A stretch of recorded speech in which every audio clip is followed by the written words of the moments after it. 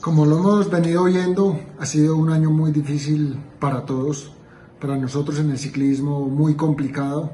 y muchos se preguntan sobre las carreras que se van a desarrollar una vez comience eh, a ejecutarse cada una de ellas, pues no lo sabemos. Importante que se le dé prioridad a sobre todas las carreras más importantes que son Giro, Tour y Vuelta. El Giro sería o será muy importante que, que se haga, eh, ya que pues es una tradición que traemos, es una carrera que no puede faltar de, dentro del calendario de, de, cada año, no importa en la fecha en que se haga, seguramente eh, se tendrá que, que rehacer cada fecha para que se logren hacer todas estas carreras tan importantes